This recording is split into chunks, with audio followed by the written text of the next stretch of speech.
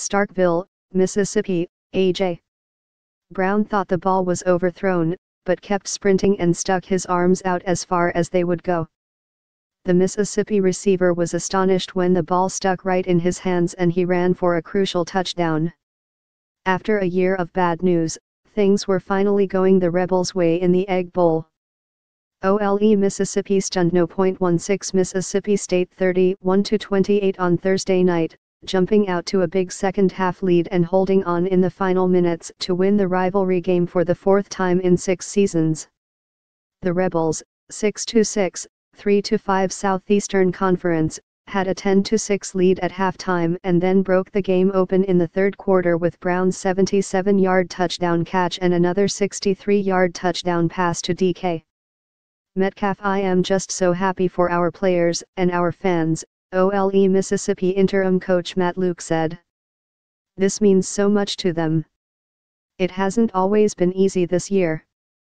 We've been on some better teams with better records, but they'll always remember this year and how they fought through adversity. It's a sweet ending to a rough season for the Rebels. OLE Mississippi isn't eligible for a bowl game because of a self-imposed postseason ban related to an NCAA infractions case that continues to hover over the program.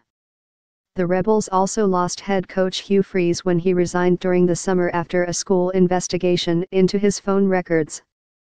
The record wasn't what we wanted it to be, running back Jordan Wilkins said. But we kept fighting as a team. There's no better feeling than to finish it off like this. Jordan Ta'amu threw for 247 yards and the two touchdowns to Brown and Metcalf. Wilkins added 110 yards rushing and two touchdowns. Brown, the SEC's leader in yards receiving, had six catches for 167 yards. The sophomore went to high school a few miles away from Mississippi State's campus at Starkville High School and had a big game in his return. Mississippi State, 8-4, 4-4, was a two-touchdown favorite, but had to play most of the game without starting quarterback Nick Fitzgerald.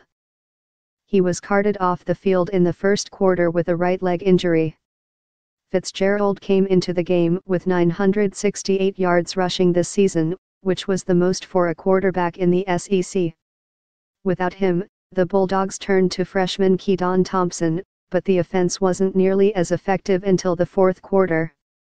The Bulldogs trailed 31 to 13 with 8:23 remaining, but scored two touchdowns to pull to 31 to 28 with 105 left.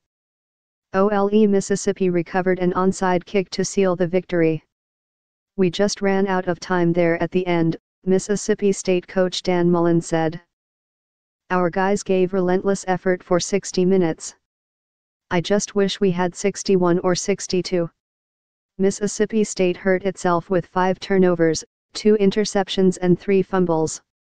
The game took a rough turn later in the first quarter when Fitzgerald took a snap and ran to the left before being tackled to the ground. The 6 foot 5 230-pound junior immediately grabbed at his right leg, which was bent at an awkward angle. He was down for several minutes before leaving on the cart.